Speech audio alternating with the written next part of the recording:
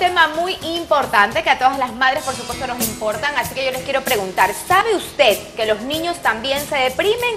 Yo en realidad no lo sabía muy bien, nenita, pero muchos de ellos por las diferentes actividades que tienen sus padres, a veces nos, nos eh, impiden compartir con ellos. La depresión infantil está comprobada que no siempre suele ser hereditaria, existen otras causas, como por ejemplo el estilo de crianza.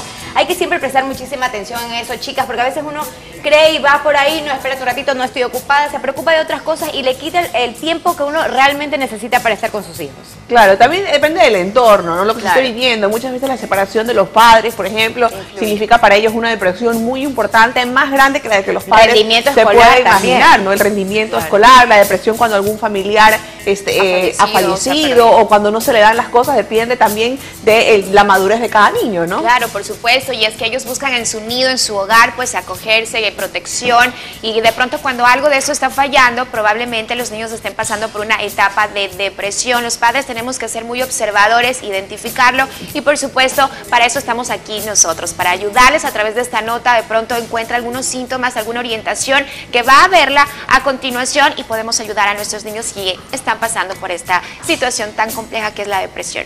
Aquí la compartimos. Hoy en día escuchar hablar de depresión se ha vuelto el pan nuestro de cada día, pero este desorden también se genera en los pequeños, caracterizado por una alteración en el estado de ánimo acompañado de una serie de malos comportamientos. ¿A qué se debe esta situación? Cuando las actividades son excesivas y el tiempo en que un niño pasa relativamente solo o pasa eh, solo en una actividad y otra y otra y otra, sí se genera en ellos una tendencia a la ansiedad.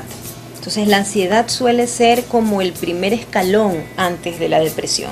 Un niño ansioso es un niño que quiere todo en el momento, es un niño que no alcanza a disfrutar lo que hace, porque si después de que tiene clases de inglés, tiene clases de natación y después de clases de natación tiene clases de, de fútbol, no alcanza a disfrutar.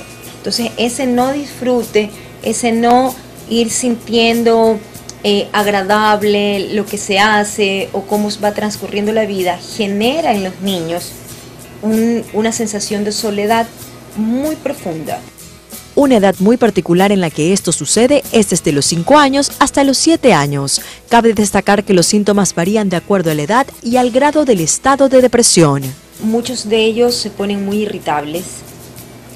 Eh, hay una baja en el desarrollo eh, emocional, no, no resisten, tienen muy poquita tolerancia a la frustración.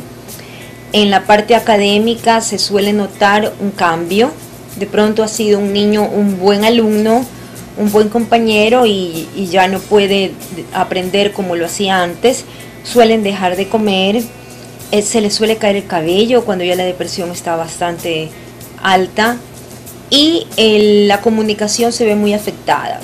Se recomienda a todos los padres organizar su tiempo para dedicarle a sus pequeños un momento valioso, realizando cualquier actividad pero siempre juntos. Esto creará un vínculo amoroso entre ambos.